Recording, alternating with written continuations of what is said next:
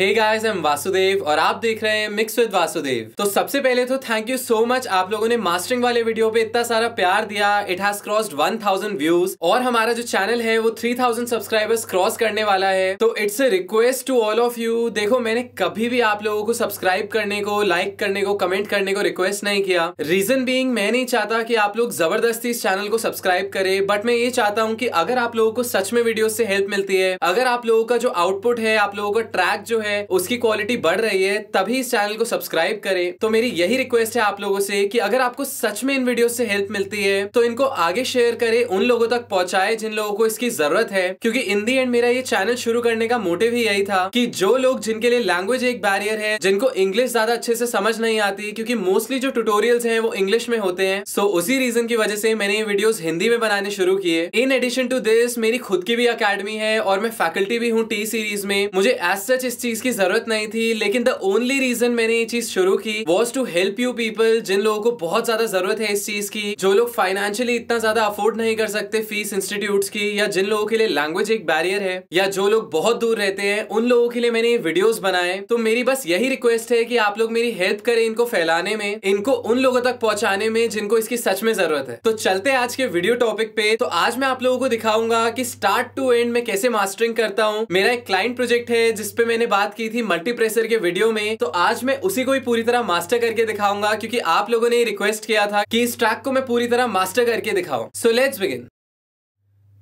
तो ये जो ट्रैक है, ये कवर है दुनिया का बाय जमान खान बहुत ही अमेजिंग म्यूजिशियन है, काफ़ी मज़ा आया था इस ट्रैक पे काम करने में। तो मैं क्या करता हूँ as you can see last time हमने एक लूप बनाया था इस एरिया में रीजन बीइंग हमें डायनेमिक चेंज देखना था ट्रैक में। तो जैसे कि आप लोग देख सकते हैं, यहाँ पे वेव फॉर्म्स बढ़ रहे हैं, यहाँ पे रिलेटिवली कम है। दैट मीन्स इस ट्रैक का जो डायनेमिक्स है, इस ट्रैक के जो इम्पैक्ट है एनर्जी है, वो यहाँ पे चेंज हो रही है। एंड इसी रीजन की वजह से हमने इस पार्ट को लूप किया था, ताकि हम दोनों एनर्जीज को कंपेयर कर पाए। सो दैट हम लोग चेक भी कर पाए कि हमने ओवर कंप्रेस तो नहीं कर दिया या ओवर प्रोसेस तो नहीं कर दिया अपने मास्टर को। तो as you can see here हम लोगों ने गेन और मल्टीप्रेसर यूज़ किया था। तो एक बार मैं ट्रैक प्ले करता हूँ बिना प्लग से आप लोग ऑब्ज़र्व कीजिएगा, जो लेवल्स है प्लस साउंड ऑब्ज़र्व कीजिएगा।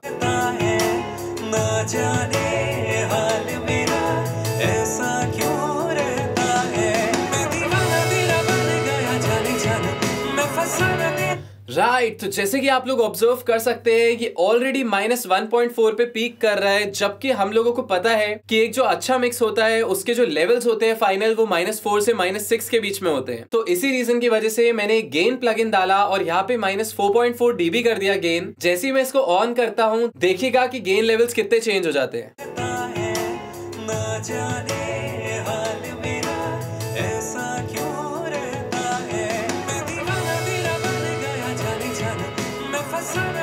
राइट right, परफेक्ट तो जैसे कि आप लोग देख सकते हैं हमारा जो स्टीरियो आउट है यानी आउटपुट है वो अब माइनस फाइव पॉइंट एट पे है। दैट इज़ द रीजन मैंने मल्टीप्रेसर अप्लाई करने से पहले इसका गेन कम किया सो so दैट हमारे पास सफिशियंट हेडरूम हो ताकि हम बाकी प्रोसेसिंग भी अच्छे से कर पाए और फुलनेस अचीव कर पाए इस ट्रैक से। तो सबसे पहले मैं क्या करूँगा क्योंकि मल्टीप्रेसर से हम लोग नहीं स्टार्ट करते मास्टरिंग तो सबसे पहले मैंने एक मिक्सर ट्रैक खोलना है और मिक्सर ट्रैक खोलने के बाद मैं क्या करूँगा मल्टीप्रेसर को नीचे शिफ्ट कर देता हूँ। रीजन बीइंग हम लोग सबसे पहले स्टार्ट करेंगे ईक्यू से ये मेरी एक अप्रोच है, ज़रूरी नहीं है, बाकियों के भी सेम अप्रोच हो। कोई कंप्रेशन से स्टार्ट करता है, कोई मल्टीप्रेसर से स्टार्ट करता है, कोई मैक्सिमाइजर से शुरू करता है। मैं इसके इसमें स्टार्ट करूँगा EQ से। तो सबसे पहले आई ओपन एन EQ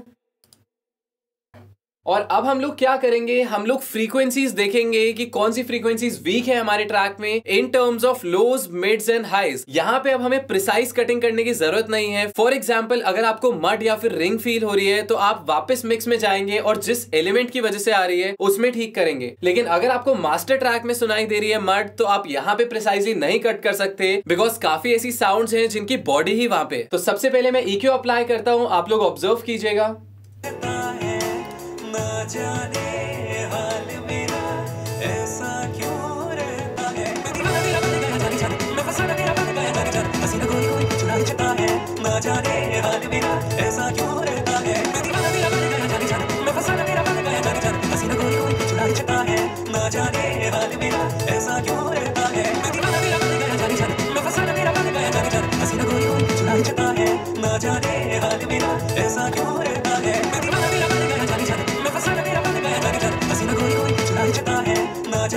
ऐसा क्यों रहता है? मैं दीवाना तेरा बन गया जाने।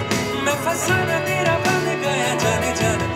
राइट right, तो जैसे कि आप लोग देख सकते हैं सबसे पहले मैंने हाई पास और लो पास यूज़ किया। उसका सिंपल सा रीजन यही है कि हमारे ट्रैक को एक राउंड शेप मिले। ऑब्वियसली इक्वलाइजर जो है वो हमें 20 हर्ट से 20 किलो हर्ट तक दिखाता है frequencies but that doesn't mean कि हमारी साउंड में भी वही फ्रीक्वेंसीज है। हमारी साउंड में तो 20 हर्ट्स के नीचे भी होती है और 20 हर्ट्स के ऊपर भी होती है फ्रीक्वेंसीज तो हाई पास और लो पास में बहुत मिनिमम लेवल पे इसलिए रखता हूँ ताकि हमारा जो ट्रैक है उसको एक राउंड शेप मिले और हमें सुनने में फैला फैलाना नज़र आए। तो इसकी वजह से थोड़ी सी टाइटनेस अचीव होती है आपके ट्रैक में। उसके बाद जो मैंने किया, आप लोग देख सकते हैं, यहाँ पे मैंने बैंड पतले नहीं रखे रीजन बींग यहाँ पे हमें in terms of overall sound देखना है तो मेरे को फील हुआ कि थोड़ी सी बॉडी मिसिंग थी वोकल्स की। तो मैंने क्या किया, यहाँ से ओवरऑल ट्रैक की बॉडी बढ़ा दी, जिस वजह से हमारे जो लो मिड्स है बेस फ्रीक्वेंसीज है थोड़ी सी स्ट्रॉन्ग साउंड कर रही है। एंड इसके बाद मैंने क्या किया थोड़ी सी हाई मिड्स और प्रेजेंस को बूस्ट किया, जिस वजह से वो जो ट्रैक की क्लैरिटी है, वो हमें अचीव हो पा रही है। तो एक बार before we move to the next plug मैं आप लोगों को इसको ऑन ऑफ़ करके दिखाता हूँ सो दैट आप लोगों को पता चले कि ईक्यू करने से ट्रैक में क्या फ़र्क पड़ा। ना जाने ऐसा क्यों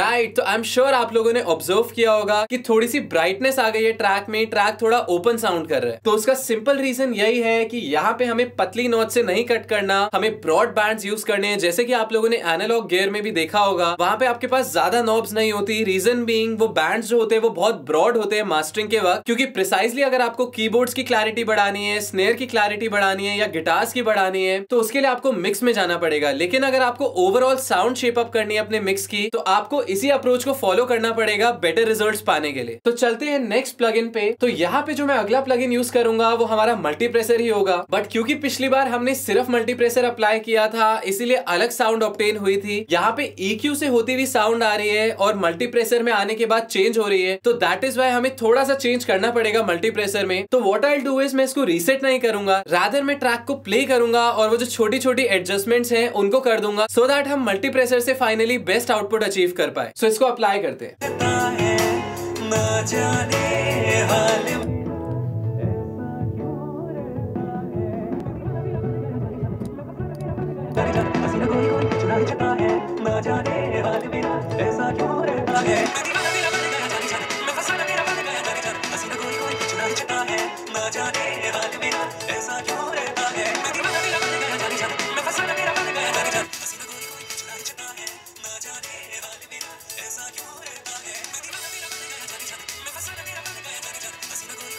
जाने हाल मेरा ऐसा क्यों रहता है?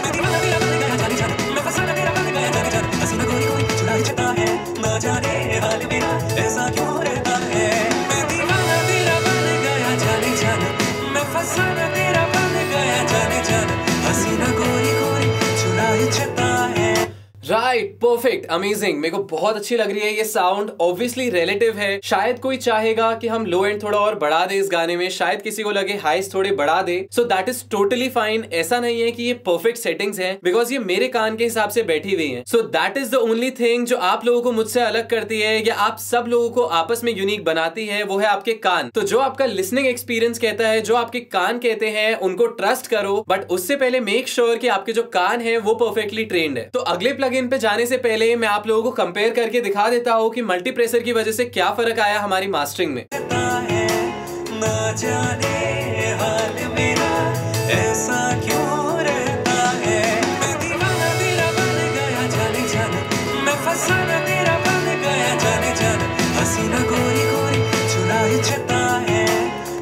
जाने।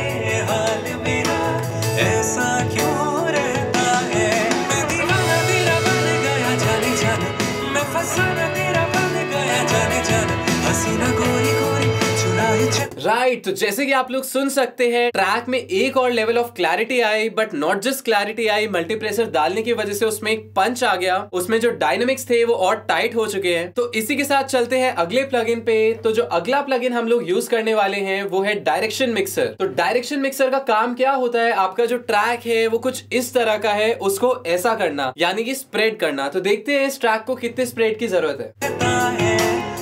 ऐसा क्यों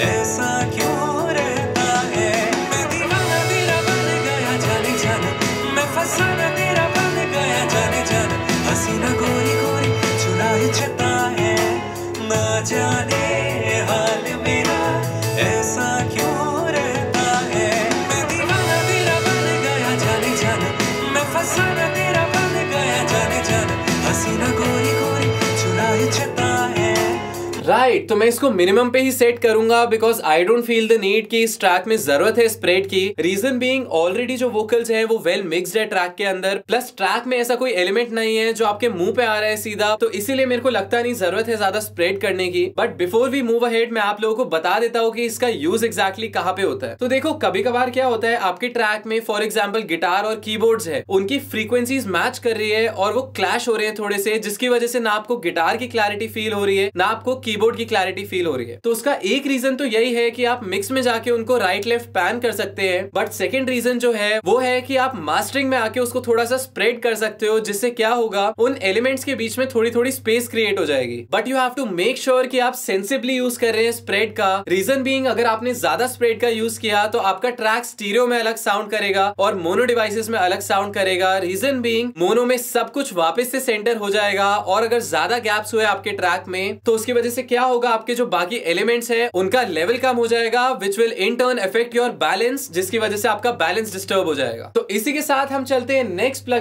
पे। यहाँ पे मैं कोई कलरेशन प्लग नहीं डालूँगा। अगर आप लोग चाहते हैं कि मैं यहाँ पे थर्ड पार्टी प्लग यूज़ करके दिखाओ या आप लोगों को दिखाओ कि मास्टरिंग के वक्त सैचुरेशन प्लग कैसे यूज़ होते हैं तो नीचे ज़रूर कमेंट करें सैचुरेशन प्लग तो मैं उस पर भी एक वीडियो बनाऊँगा। इस पर्टिकुलर वीडियो में मैं आप लोगों को एक सिंपल मास्टर बना के दिखा रहा हूँ येट प्रोफेशनल साउंड कैसे अचीव करेंगे हम? सिर्फ़ स्टॉक प्लग की मदद से। तो इसी के साथ अगले प्लग पे चलते हैं, जो कि है हमारा अडेप्टिव लिमिटर तो जैसे कि आप लोग देख सकते हैं अडेप्टिव लिमिटर कुछ इस तरह का दिखता है। सबसे पहले हम लोगों को रिमूव डीसी ऑफसेट ऑफ़ करना है। अब हम क्या करेंगे, हम एक लाउडनेस मीटर भी डालेंगे बिकॉज़ ये सबसे इंपॉर्टेंट पॉइंट है मास्टरिंग का, जो हम लोग स्किप कर देते हैं। वो है एलयूएफएस के अकॉर्डिंग अपने ट्रैक को मास्टर करना। तो एलयूएफएस जो है it stand for loudness unit relative to full scale तो एक इंटरनेशनल लाउडनेस यूनिट है, जिसके बेसिस पे आपकी स्ट्रीमिंग सर्विसेज़ ऑपरेट होती है, जिसके बेसिस पे यूट्यूब स्पॉटिफाई आई ट्यून एक्सेट्रा आपके सॉन्ग को कंप्रेस करते हैं। तो अभी तक का हाईएस्ट एलयूएफएस जो है, वो है यूट्यूब का, जो कि माइनस तेरह है। तो हम लोग क्या करेंगे? हम लोग थोड़ा सा लाउड ट्रैक देंगे माइनस तेरह से सो दैट जब भी हम यूट्यूब पे सॉन्ग को अपलोड करें, वो सिर्फ़ इसका लेवल रिड्यूस करे। अगर आपने स्ट्रीमिंग सर्विस को कम एलयूएफएस पे गाना दिया तो उससे क्या होगा कि वो आपके गाने को पुल करेगा ऊपर, जिस वजह से वो नॉर्मलाइज कर देगा, और नॉर्मलाइज करने की वजह से आपके ट्रैक की साउंड चेंज हो जाएगी। तो फटाफट इसको कंप्लीट करते हैं एलयूएफएस के अकॉर्डिंग एंड ट्राई करते हैं कि माइनस बारह के आसपास हम अपना एल सेट करें। ऐसा क्यों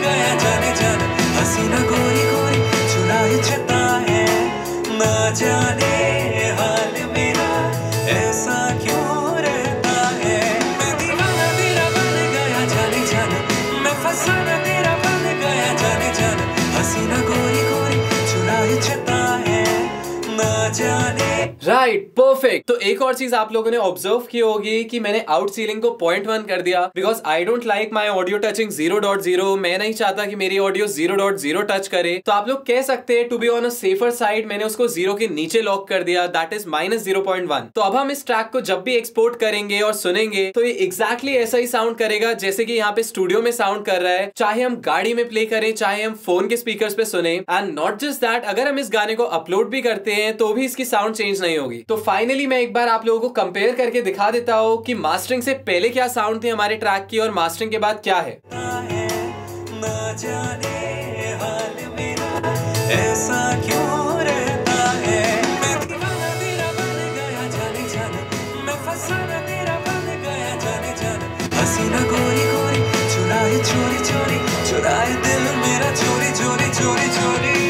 राइट तो आई एम प्रिटी श्योर बहुत ही मेजर डिफरेंस है। प्लस आप लोगों ने ऑब्ज़र्व किया होगा कि मास्टरिंग के बाद वोकल्स और ज़्यादा अच्छे से हाईलाइट हो पा रहे हैं और ज़्यादा अच्छे से कट थ्रू हो पा रहे हैं। एंड नॉट जस्ट दैट बाकी जो एलिमेंट्स थे उनमें भी काफ़ी पंच आ गया। सो so, अगर आप लोगों को इसका फाइनल ट्रैक सुनना है तो लिंक मेरे डिस्क्रिप्शन में है। ये ऑलरेडी रिलीज़ हो चुका है और ये जमान के चैनल पे है। तो I would actually recommend you कि आप लोग ये पूरा ट्रैक सुने सो so दैट आप लोगों को आइडिया लगेगा कि एक प्रोफेशनली मास्टर ट्रैक कैसा सुनाई देता है इवन यूट्यूब पे अपलोड होने के बाद। So that's much about it guys I hope आप लोगों ने कुछ नया सीखा हो, आप लोगों को मज़ा आया हो। अगर इस वीडियो से रिलेटेड कोई भी डाउट है तो उसको नीचे कमेंट कर दो। और अगर आप चाहते हो कि मैं अपना अगला वीडियो किसी एक स्पेसिफिक टॉपिक पे बनाऊँ तो उसको भी लिख डालो। So thanks a lot for watching until next time bye bye cheers all the best